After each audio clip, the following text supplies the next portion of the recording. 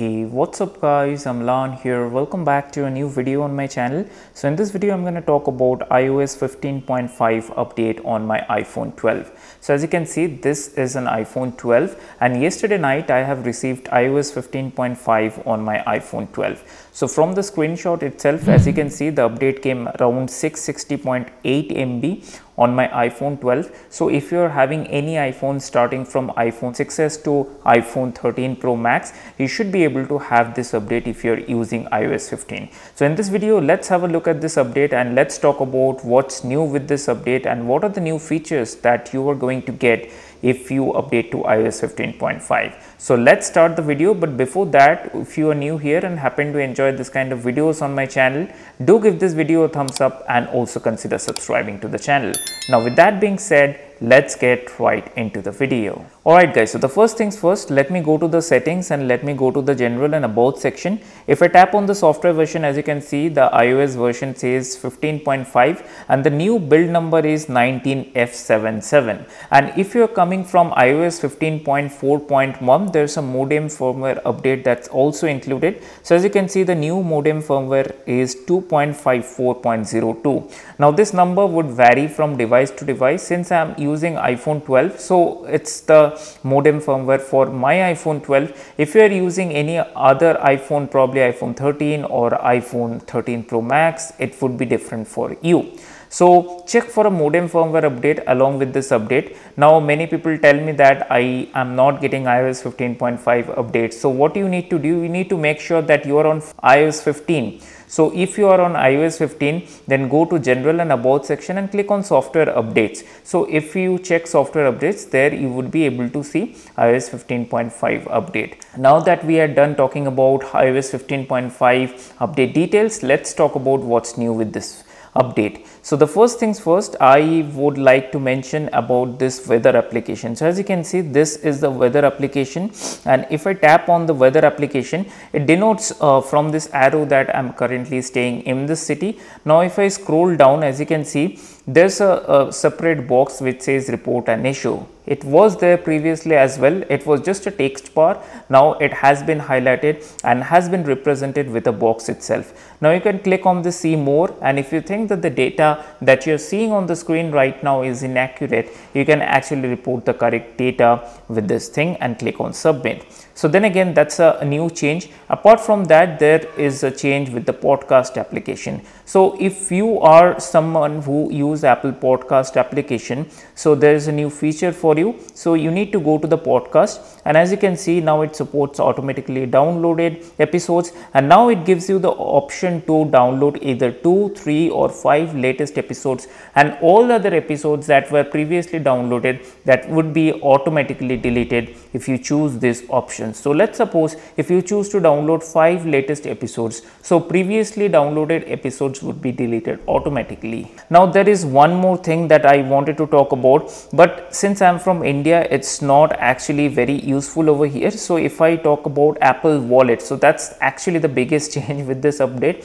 Now if i click on apple wallet now it's just apple cash. So previously it was apple pay but now from apple pay uh, you know apple has changed it to apple cash and for the countries where apple cash is available you can make use of that. Apart from that there are many features that has been you know uh, given to the developers for them to implement for example if you go to safari a key pass feature has been included. Let's suppose you know let me talk about first what key pass is. You know if any website takes in a credential like username or password for you to log in then key pass would actually allow you to you know use your face id or authentication methods like that so that it becomes easy for you if you log into that particular website multiple times.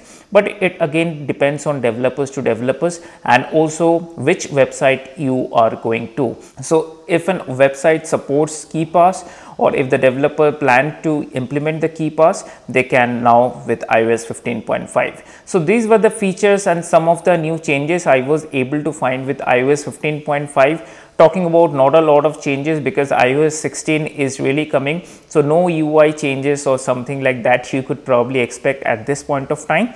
But now let's have a look at the battery life. I know many people are concerned about the battery life and so let's have a look at the battery life. So before we take a look at the battery graph and all, let me click on the battery health. So my battery health is 93%. I've been using this iPhone 12 for almost a year now and it supports peak performance capability. Now if I go down as you can see yesterday night I have you know done the update. And before that as you can see if I take an example of yesterday I have used my phone around 70 percent. And for that I have gotten a screen on time of 4 hour 39 minutes and screen off time of 37 minutes. And you know it's similarly it's just like that for last 10 days if I tell you the screen on and screen off time is in front of you. So it's not good it's not bad. It gets me through a day for most of the people that what I have received the feedback is iOS 15.4.1 or hmm. iOS 15.5 the battery life was okay okay. It's hit or a miss for some people. Some people always complain me that the battery life is not that great. They are you know facing heating issues stuff like that. But for me iOS 15.4.1 even and even you know after updating to iOS 15.5 I am hoping the battery life would be kind of similar or you know it would be improving in terms of battery life. Now talking about one more thing people were concerned about the iPhone storage issue. So let me go to the general and click on iPhone storage. So previously what was happening you know once you uh, click on the iPhone storage once it gives you the correct representation of the all the applications that are taking and you know consuming data and if you just scroll down you know the system data was taking a large chunk of amount. So, as you can see it quickly loaded and first of all it takes time if you are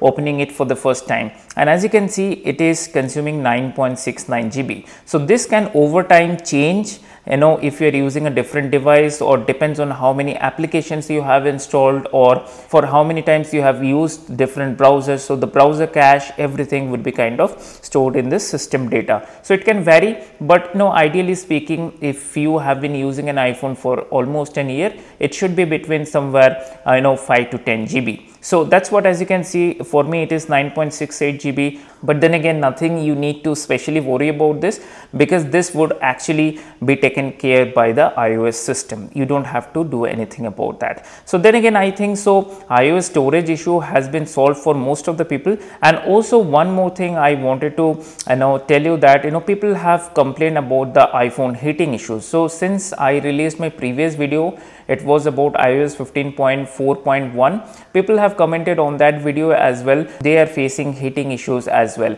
So to be honest i use this as my daily driver and i never faced heating issues. But of course there are scenarios the phone would be kind of heated up. If you continuously use the phone for you know for voice calls or video calls or things like that in extreme scenarios and depending on the weather condition if you are on india or any other countries there would be a possibility that that your phone would be heated up normally. But you know in all the cases my phone doesn't heat up all the time so that's what i just wanted to let you know. But then again that's it for this video. I hope you have enjoyed this video.